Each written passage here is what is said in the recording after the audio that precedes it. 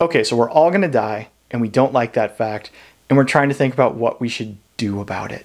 Uh, there are lots of ways that we might respond. Everything from the idea that you know we should just accept the fact that death will render our lives meaningless, and that just sort of is what it is, and we should accept it.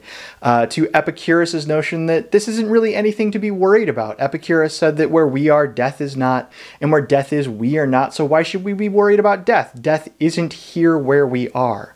Uh, but at a certain level, responses like that don't seem particularly welcoming or comforting or anything like that. And it seems like the reason these responses aren't very comforting is because really what we're looking for in our lives is some kind of objective meaning, something where we will be able to say, it doesn't matter what happens to us, it doesn't matter what anyone else believes, my life has meaning. And if it is the fact that our lives will be rendered meaningless by our deaths, we face this really important, really difficult tension. This is a tension that some philosophers have embraced uh, through a school called absurdism, where they say we want something on one hand, we want the fact that our lives need to be objectively meaningful, and on the other hand, we have the simple fact that our lives are not objectively meaningful. Our lives will lose all their meaning when we die, and that's just the deal. And these two things are in tension, and we can't actually give either one of them up. We can't give up a fact about the universe, and there's just something about us that makes it the case that we want a really meaningful life. We want an objectively meaningful life. And so we live this life that is absurd, where these two contradictory notions are sort of at play at the same time. And you might wonder how we should address this absurdity? Now, the Danish philosopher Soren Kierkegaard had a really interesting answer to this question. On the one hand, Kierkegaard thought that we really did inescapably crave meaning in our lives. He thought we wanted something called eternal happiness. And on the other hand, Kierkegaard thought that really, if you look at the evidence, there's no reason to think anything's going to happen other than we are going to die and that will be the end of us and that will render our existence meaningless. Kierkegaard thought that there was no way that we could actually prove that life has any sort of objective meaning. And that had to do with some things that Kierkegaard thought about how we actually experienced the world. Kierkegaard thought that if there was some sort of eternal happiness, if there was some sort of objective meaning in our lives, that was going to be some sort of objective fact about the world. But Kierkegaard also thought that if you think about how we actually experience the world, we experience the world not directly, but through our senses. We see the world, we hear the world, we taste the world, so on and so forth. We never actually directly experience the world. We experience the world subjectively. And what that means is we can never actually encounter objective truth.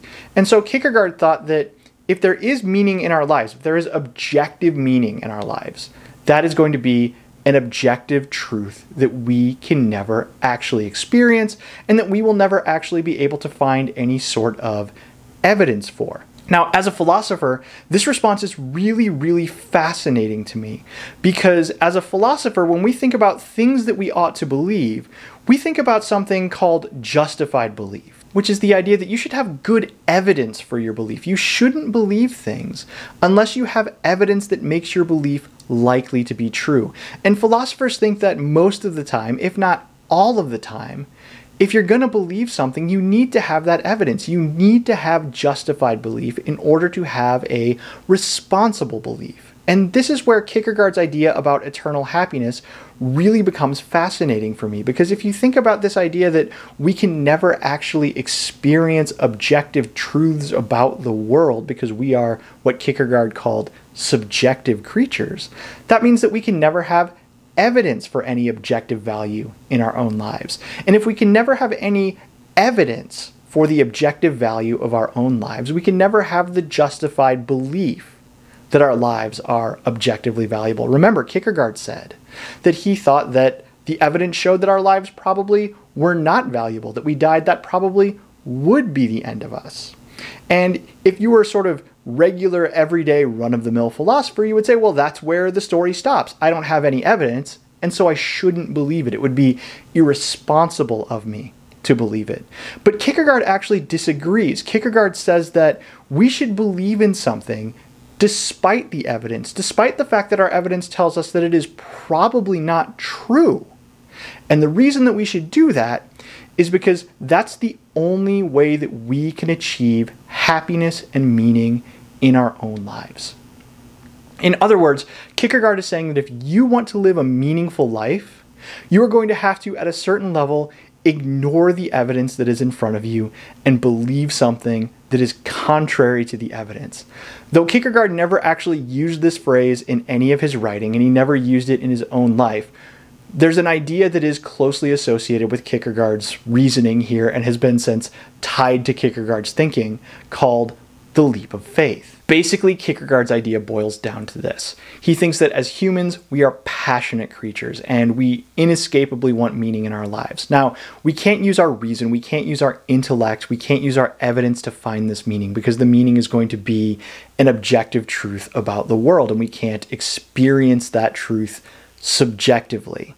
But we can use our passions, we can embrace our passions to discover subjective truths about the world. And Kierkegaard thinks that the most passionate thing we can do, the highest passion that we can sort of reveal in ourselves, is to believe in something despite the evidence against us. We can take the leap of faith.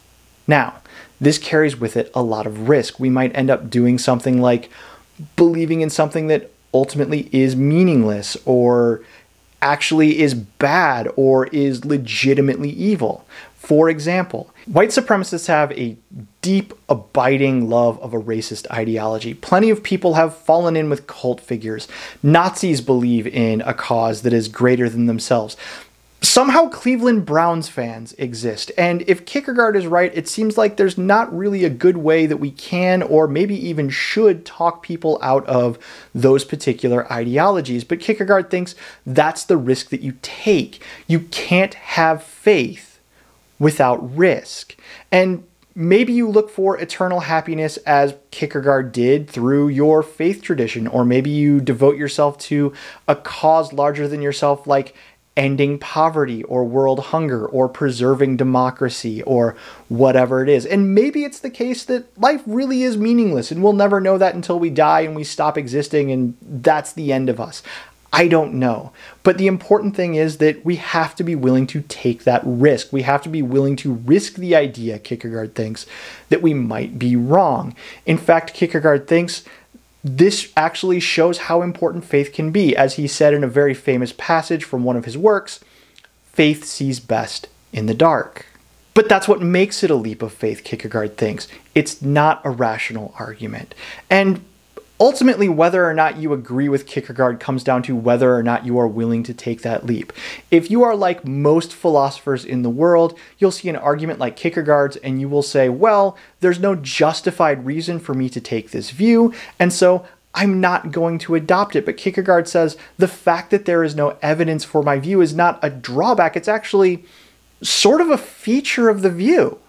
And ultimately, whether or not you find that compelling boils down to whether or not you are willing to take the leap of faith.